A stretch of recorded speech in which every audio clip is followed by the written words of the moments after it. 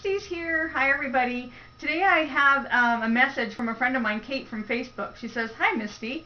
Could you give me some advice? I feel I must be putting the wrong things on Facebook as not many people seem to respond.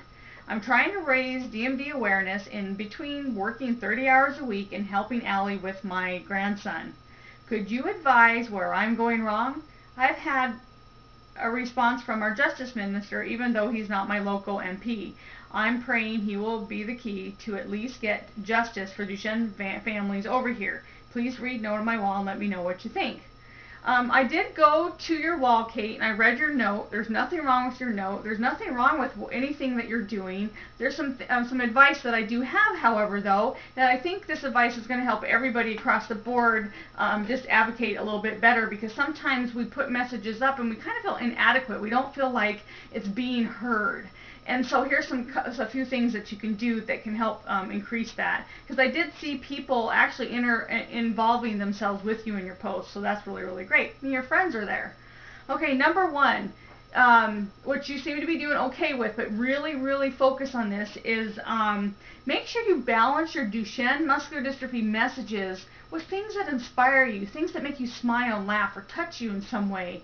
Um, you know, of YouTube videos or other people's posts or, you know, um, just, just kind of hone in on that and, and be aware of, you know, nobody wants to hear the gloom and doom of Duchenne every single time they come to your wall or see you post. That gets really old. I mean, even even for you know people that are in within the Duchenne community, it gets so tiring because it's such a hard job to do. And so we need things that are going to make us smile and feel uplifted and connected to each other. And so make sure you're balancing your Duchenne messages.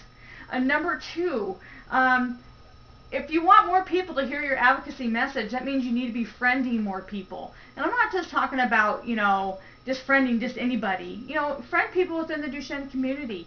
Tell them why you're friending them. Tell them where you saw them. They maybe they posted something that intrigued you. Maybe they have a great smile or their profile picture is excellent. You know, be sincere and you know start at least five to ten new people every single day or what you can do. The idea is you're bringing on fresh new people to see the Duchenne message and what you're doing. And, and think about this: 100, the average person on Facebook has 124 friends. So 124 friends are seeing all their posts and how they interact with you. So just bring just bring in new, fresh people all the time so you can um, keep it fresh. And also, it's awesome connecting with other people to grow the Our Duchenne message even bigger. Um, and number three is um, you know, get, I really encourage you to get out of sight of Facebook. I know you said you didn't have a lot of computer uh, knowledge or experience. Um, the only way you're going to do that is start learning about different things you can do. And the best thing you can do is start a, a, your own blog.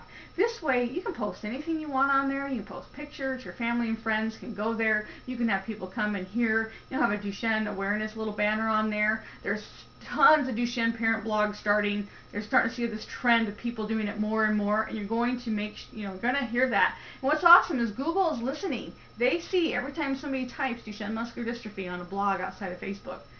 So just keep those things in mind. And let me see. Oh, another thing you can do is, you know, besides getting outside of Facebook, uh, go to Twitter, see what's happening there. Uh, the Netherlands are kicking U.S. butt on, on the Twitter, so I'd really love to see more uh, U.S. Uh, Duchenne parents on Twitter. That would be fabulous to see that.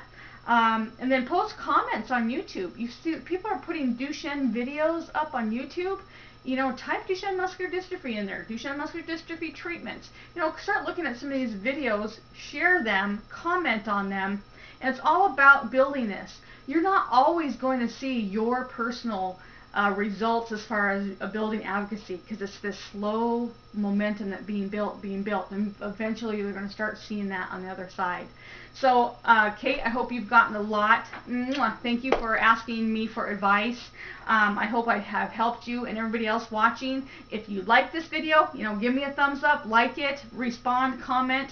If there's another video you'd like me to shoot, another topic you'd like to hear my opinion about, post that below too. Send me a message on Facebook, and that might be somebody messaging me right now. So again, Misty VanderWeele here. Like the video, don't like the video, comment below, and we'll see you next week. Bye-bye.